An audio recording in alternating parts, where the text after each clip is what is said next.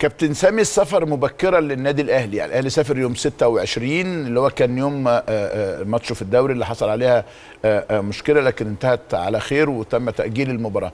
اولا شايف تأجيل المباراه كان في صالح النادي الأهلي أم لا؟ طبعا. طبعا. طبعا يا كابتن. طبعا انت أول حاجة انت عندك لعيبة ممكن تتصاب. آه ودي أهم حاجة. نعم. عندك ممكن يبقى إجهاد. آه. لأن الضغوط ماتشات ورا بعض فيها ضغوط دي بتأثر على أي فرقة. الاستشفاء نعم. بتاعك وبعدين هتخلص وتسافر وبعدين هتروح هناك السفر نفسه برضو ده فيه جزء منه إرهاق لأن المغرب مش قريبة المغرب حوالي خمس. ساعات خمس ساعات.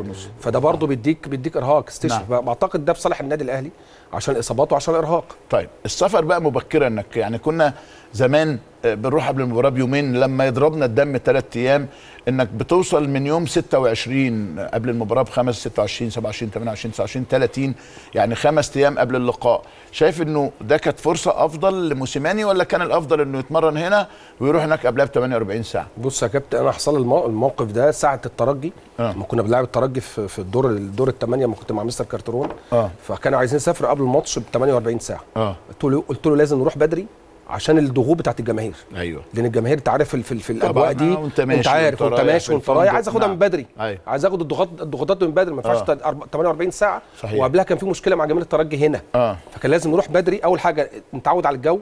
لأن ساعتها كمان كان جو ممطر. آه. فلازم نتعود على ال على ال على, ال على الجو هناك. تاني حاجة الضغوط بتاعت الجماهير. أيوه. وال وبيح وال والأمن ما شاء الله كان هناك بصراحة كان كان كويس قوي. محترمة. فأنا شايف إن دي دي ميزة. إنك تروح من بدري تعود على الأجواء تعود على الضغوط. تعيش اللعيبة في الأجواء بتاعه البلد. فشايف إن دي لا لا كان في الوقت ده قرار آه، صح- صحيح. صح. طيب.